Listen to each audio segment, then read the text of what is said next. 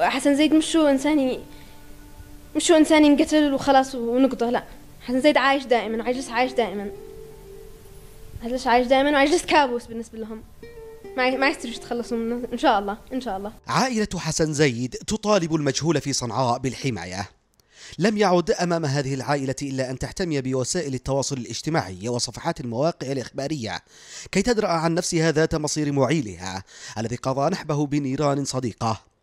وهذا ليس تسريبا أو اكتشافا جديد بل واضح للعيان منذ أول وهلة أطلق فيها القاتل رصاصاته المركزة على صدر وزير الشباب السابق للحوثيين.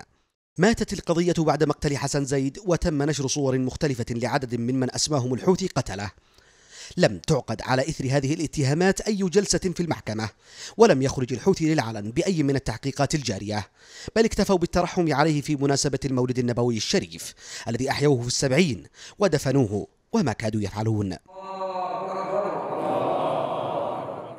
قد يراه البعض طفوا لصراعات الأجنحة الحوثية بينما الواقع يقول أنه صراع بين مجلس الهاشمية الإمامية الرجعية وهواشم صعدة الجدد المرتمين في أحضان إيران والذي ما إن استقبلوا حسن إيرلو حتى قتلوا حسن زيد الذي كان يعد صريحا أكثر من اللازم في زمن يحاول الحوثي أن يحافظ على اتقاد شمعته وليس على استعداد لأن يواجه غضبين. أحدهما في الداخل عبر الإماميين والآخر في الشارع الذي يتجرع مرارة الجوع وينتظر إشعال ديسمبر من جديد. مقتل حسن زيد يفتح ملفات عدة. أبرزها مقتل عبد الكريم جدبان المؤسس إلى جوار حسن زيد لحزب الحق.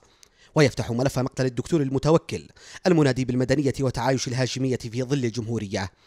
ومقتل الدكتور أحمد شرف الدين الذي كان في طريقه لتوقيع وثيقة الحوار الوطني الشامل باسم مكون الحوثيين. بل ومقتل الصحفي الخيواني الذي انحرف في وجهة نظر الحوثيين بما يسمونها المسيرة القرآنية.